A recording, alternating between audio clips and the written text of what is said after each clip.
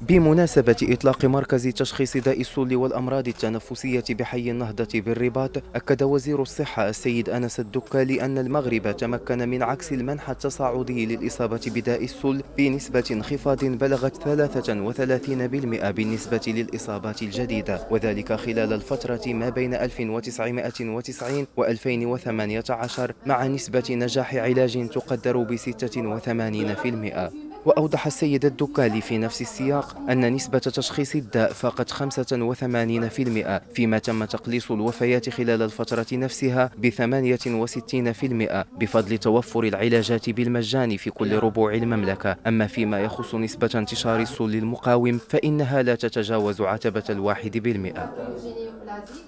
اليوم النسبة ديال التشخيص فاقت 85% النسبة ديال العلاج تقريبا 86% كتبقى مهمة جدا. يعني نجاح العلاج نسبة نجاح العلاج. ثم كذلك السل المقاوم. هذا مسألة مهمة لأن في الدول الأوروبية كيبقى مرتفع. حنا في المغرب ما فاتش 1% بطبيعة الحال هناك هذه المجهودات كتجلى في مجانيه العلاج وكاين كذلك في هذه المراكز اللي كتشوفوا اليوم. هذا مركز مرجعي للأمراض التنفسية ولمواجهة السل.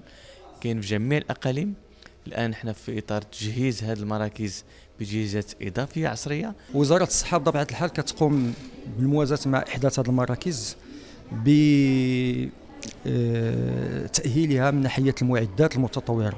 إحنا الآن بصدد إعادة آه، النظر في طريقة الكشف باعتماد آليات جديدة تعتمد على آه، ما نسميه بال microbiologie moléculaire هذا كله من أجل الكشف المبكر على المرض من أجل التكفل بالمرضى سريعا وضمان نجاح العلاج وتفادي ان المريض يوصل لنا المرض السل المقاوم للادويه يذكر أن عدد حالات الإصابات المسجلة وفقا للوضع الوبائي في 2018 بلغ 30977 حالة تضم مختلف الأشكال وهو ما يوافق نسبة حدوث تقدر ب 87 حالة لكل 100 ألف نسمة ويمثل السل الرئوي 52% من حالات الإصابة. وتتركز الإصابة بداء السل بشكل خاص في المناطق عالية الكثافة السكانية والمناطق شبه الحضرية بالمدن الكبرى حيث تصير الهشاشة وتأثير العوامل الاجتماعية والاقتصادية أكثر حدة.